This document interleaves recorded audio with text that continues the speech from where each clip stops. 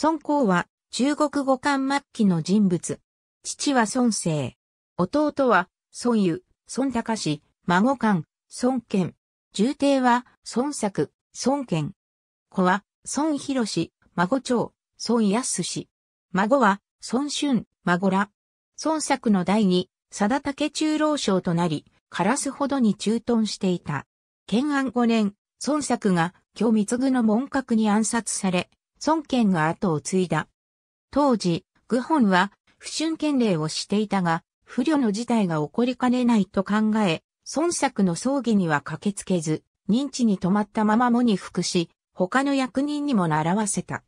愚本の予想した通り、孫公は独立勢力を企て、海警軍を支配すべく軍を率いて、郷里の不春権にやってきた。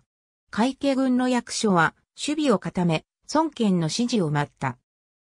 愚本は孫公に会い、内脚名府は天寿を全うすることができませんでした。ただ今、ことを取りまとめ、人を率いてゆくのは、高連こそがふさわしいのです。